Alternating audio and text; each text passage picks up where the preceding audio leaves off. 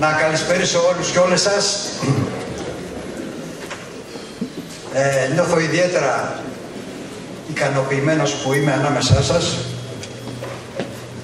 και ιδιαίτερα θέλω να το υπογραμμίσω αυτό. Βρίσκομαι ανάμεσα σε παλιούς συντρόφους, γνώριμους εδώ και δεκαετίες, με κοινούς αγώνες, οι οποίοι ευτυχώς, παρόλο ότι βρισκόμαστε σε διαφορετικές κομματικές ίσως εντάξεις, μάλλον συνεχίζονται με αρκετά προωθημένες θα έλεγα αγωνιστικές και συντροφικές σχέσεις. Να χαιρετήσω βεβαίως, το έχω κάνει εξ αρχής, το βήμα, το αριστερό βήμα για το διάλογο και την κοινή δράση της αριστεράς. Είναι μια πρωτοβουλία πάρα πολύ σημαντική, η οποία ήρθε σε μια πολύ κέρια στιγμή νομίζω. Την έχουμε ανάγκη όλοι και πρώτα απ' όλα την έχει ανάγκη ο αριστερός κόσμος, ο οποίος βλέπει αυτή την ώρα ότι έχει έρθει κατά κάποιο τρόπο η ιστορική ώρα του, αλλά ταυτόχρονα βλέπει και τις τεράστιες δυσκολίες που υψώνονται στο να παίξει η αριστερά σήμερα ένα κεντρικό ρόλο.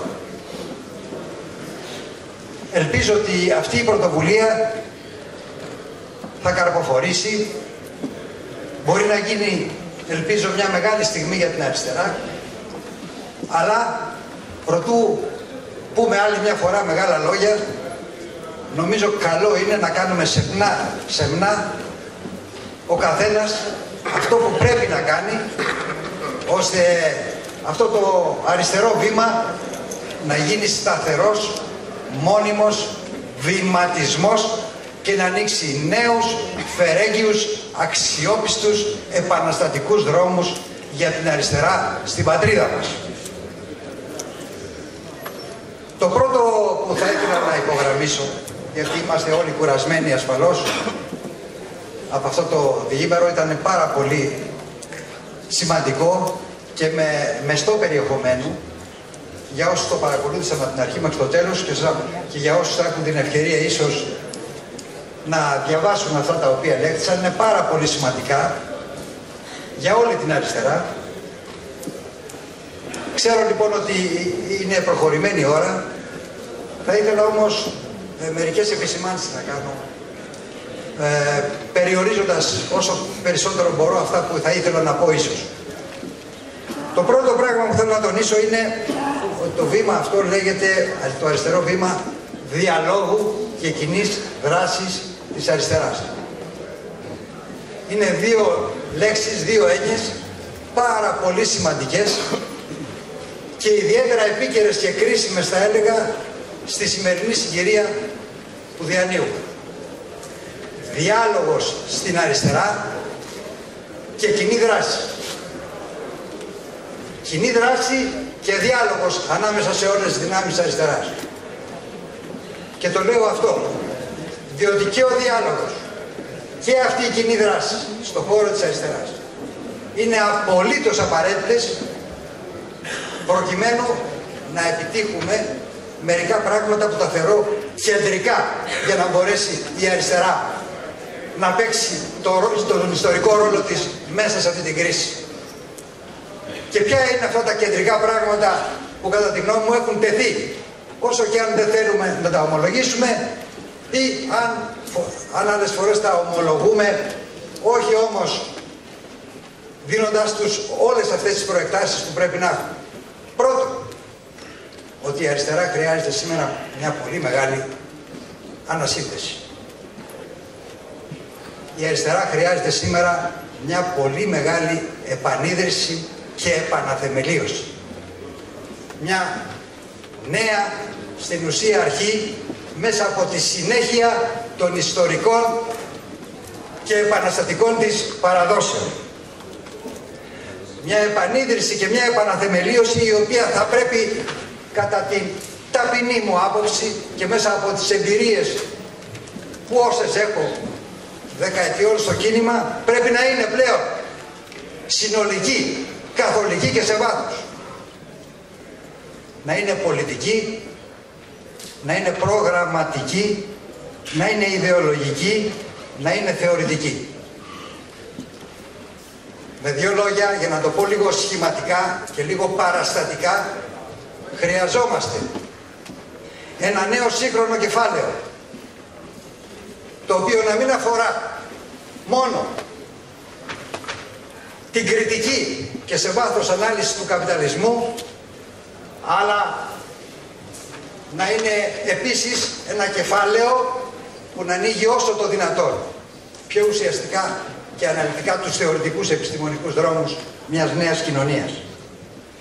Και χρειαζόμαστε, θα έλεγα, ένα νέο σύγχρονο μπολσεβικισμό, ο οποίος τώρα δεν θα είναι μόνο νικηφόρος, με την έννοια της νικηφόρας Οκτωβριανής Επανάστασης και του ανοίγματος του πειράματος που έγινε για την σοσιαλιστική μετάπλαση της ανθρωπότητας, αλλά θα είναι και βιώσιμος και αποτελεσματικός.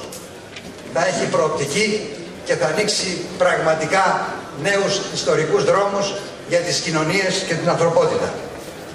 Και για τα δύο αυτά είναι απαραίτητος ο διάλογος μεταξύ μας και η κοινή δράση. Το τρίτο που θέλω να πω. Διάλογος και κοινή δράση. Ακούγονται ωραία. Αλλά πώς θα τα προχωρήσουμε; Γιατί δεν τα έχουμε προχωρήσει στην αριστερά ως τώρα; Γιατί περίπου μισό αιώνα είναι σε διάσπαση και πολυδιάσπαση και σε εμφύλια σύραξη η αριστερά στη χώρα μας; Γιατί από τότε σχεδόν που έγινε νόμιμη η αριστερά ζει σε αυτό το, σε αυτή την, σε αυτό το καθεστώς. Έχουμε σκεφτεί να δώσουμε μία απάντηση σε αυτό το ερώτημα που νομίζω όλους μας βασανίζει. Γιατί; Δεν έχω την απάντηση εύκολη. Ούτε είναι μια συνταγή που θα τη βγάλω από την τσέπη να την προσφέρω και να γίνει κοινά αποδεκτή. Αλλήμον. Προβληματιζόμαστε. Μήπως, μήπως το πρόβλημά μας είναι βαθύτερο και αφορά μια λογική της αριστεράς η οποία τελικά είναι και πάρα πολύ αποθετική στην κοινωνία. Πάρα πολύ αποθετική στην κοινωνία. Σκεφτείτε, εγώ με την ομάδα μου, στον χώρο της αριστεράς, έχουμε την απόλυτη αλήθεια.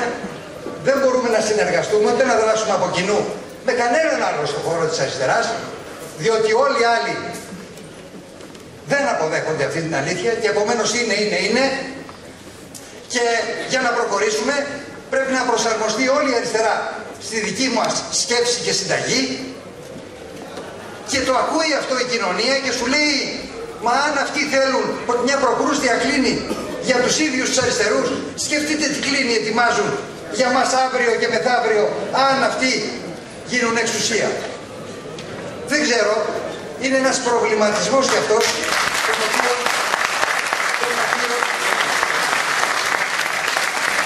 τον οποίο δεν πρέπει εκ των προτέρων να απορρίψουμε. Βεβαίως υπάρχουν διαφορές στον χώρο της αριστεράς.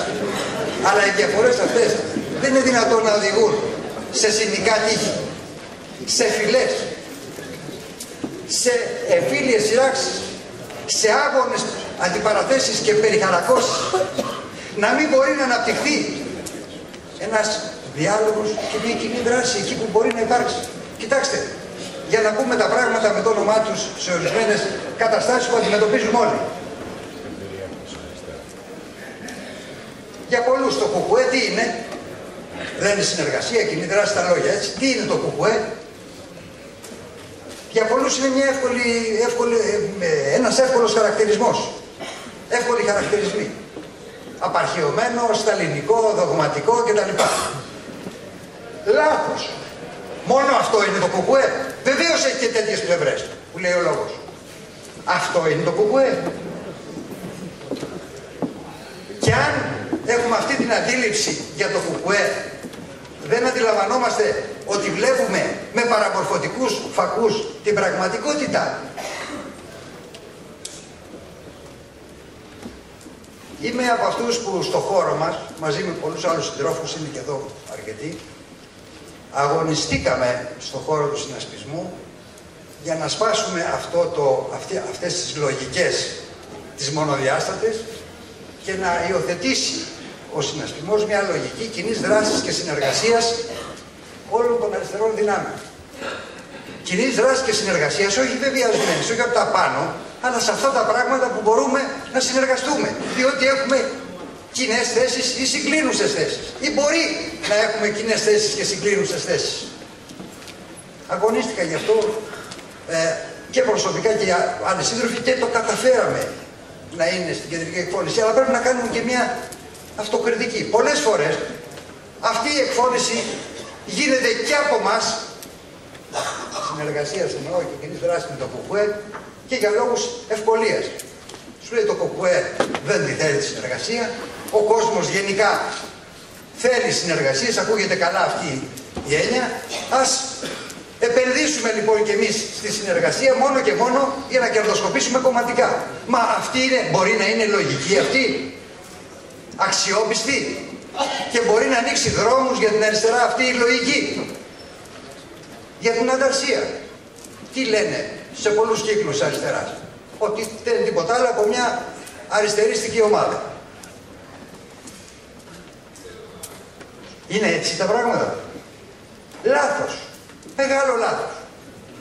Η ανταρσία που την παρακολουθώ τις εξελίξεις στον χώρο της αριστεράς δεν συμφωνώ σε όλα, αλλά έχει ένα πολύ ριζοσπαστικό φορτίο έχει μια επαναστατική προσπάθεια, κάνει μια επαναστατική προσπάθεια σε θεωρητικό επίπεδο, αξιόλογη, με ειδική συμβολή, που εμένα τουλάχιστον με έχει βοηθήσει και παίρνω δάνεια από εκεί πάρα πολλές φορές και βλέπω και ένα κινηματικό ριζοσπαστισμό και μια ιδιαίτερη απίξη στην νεολαία.